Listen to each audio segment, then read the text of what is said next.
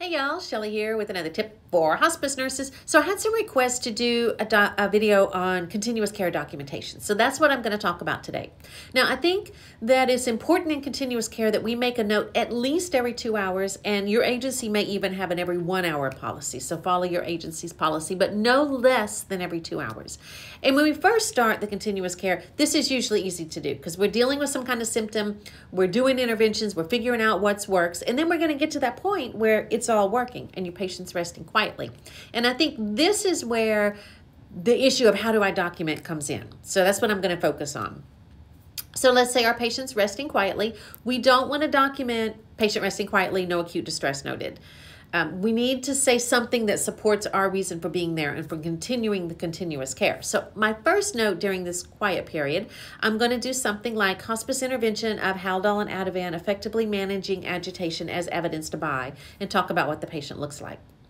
Then the next two hours, I'm going to say the same thing, but I'm going to do it in reverse. I'm going to start with what the patient looks like and what I did. So I will say something like patient lying in bed, eyes closed, no evidence of agitation noted as patient's calm, peaceful, no restless movements noted, suggested that hospice intervention of Ativan Haldol continues to be effective. Um, patient does require continued monitoring to determine therapeutic dose or therapeutic levels or whatever you want to call for that.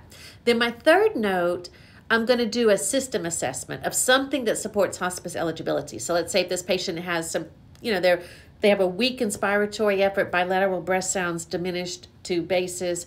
Patient requires oxygen at two liters per nasal cannula, something like that. Then my fourth note, I'm going to document an education because you know you've provided education. So what did you do? It could even be home safety education. It could be something, but you're you're providing some kind of skilled service. So document that on my fourth note. So then on the fifth note in my little in this little series, I'm going to go back to what my first note was. Hospice intervention of Haldol and Ativan effectively managing signs of terminal agitation as evidenced by. And then I kind of start that cycle again. I'll do that one, then I'll flip it for the next one. Then the next one, I'll do a different system assessment. Maybe their skin. What does their skin look like? And then the next one, I'll do a different education. Did I educate this time on skin breakdown and turning and those kind of things. And I just keep doing this over and over. So you're showing skills. You have a little idea in your mind of what you're going to document and what it's going to look like. They meet CC criteria and they meet hospice criteria.